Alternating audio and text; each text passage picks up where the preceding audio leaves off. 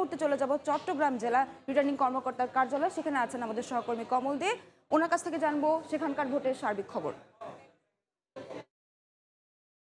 চট্টগ্রামের ষোলোটি সংসদীয় আসনের মধ্যে পনেরোটি আসনে ভোট গণনা প্রায় শেষ পর্যায়ে বলা চলে। কেন্দ্র থেকে ভোটের ফলাফল চলে আসছে রিটার্নিং কর্মকর্তা। তবে একটি বিষয়ে প্রশ্ন সৃষ্টি হচ্ছে, সেটি হলো চট্টগ্রামের সংসদীয় আসন ষোলো বাসকালীর ভোট গণনা কি হবে?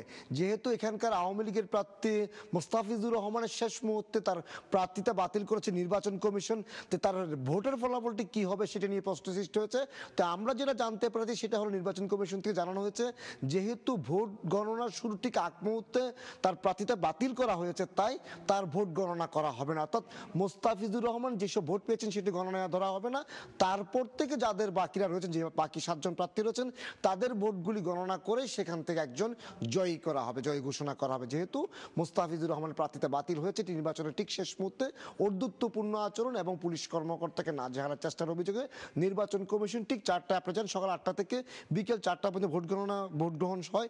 ঠিক চারটার আগ মুহূর্তে তার প্রার্থিতা বাতিল করা হয় সে কারণে কেন্দ্র সচিবালয় থেকে নির্দেশ দেওয়া হয়েছে কে নির্বাচন কমিশনের, যে তার যে তার পক্ষে যে ভোটগুলি পড়েছে, সেগুলি যেন গণনায় ধরা না হয়। এরপর বাকি যে প্রার্থীরা রয়েছেন, তাদের ভোটগুলি গণনা ধরা হবে। সেই কারণে কিছুটা জটিলতা সৃষ্টি হয়েছে, তবে ভোট গণনা চলছে। আরেকটি বিষয় যেটা হচ্ছে, চট্টগ্রামের চৌদ্দ চন্দনাইশ চন্দনাইশ আমরা জানতে পেরেছি, আওয়ামী লীগের প্রার্থী রয়েছে নজরুল ইসলাম চৌধুরী।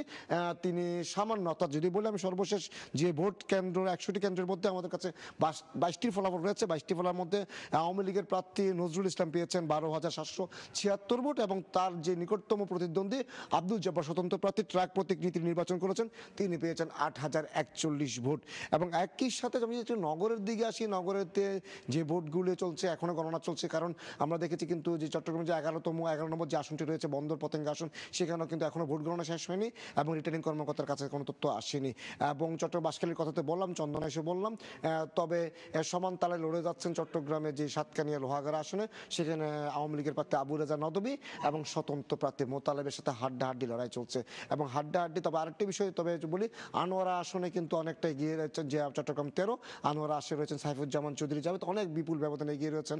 চট্টগ্রাম বারো পটিয়ে সংঘাতপূর্ণ যে আসন, সেখানেও কিন্তু আওয়ামী লীগের প্রার্থী এগিয়ে রয়েছেন বলে আমরা জানতে পেরেছি। তো এখন পর্যন্ত বলা চলে, যে প্রশ্ন সৃষ্টি হয়েছে চট্টগ্রাম ষোলো সংসদীয় আসন বাসকালীর প্রার্থীতা যেহেতু বাতিল হয়েছে, সেখানে তাকে বাতি রেখেই, তাকে বাকি রেখে বাকিগুলি ফলাফল ঘোষণা করা হবে। তো এখন পর্যন্ত আমার কাছে ছিল চট্টগ্রাম ষোলোটি আসন যে ফলাফল ঘোষণা চলছে, তার সর্বশেষ। রাবি চট্টগ্রাম থেকে আমাদের সহকর্মী কমল দে জানাচ্ছিলেন, সেখানকার ভোট গণনা সবশেষ পরিস্থিতি।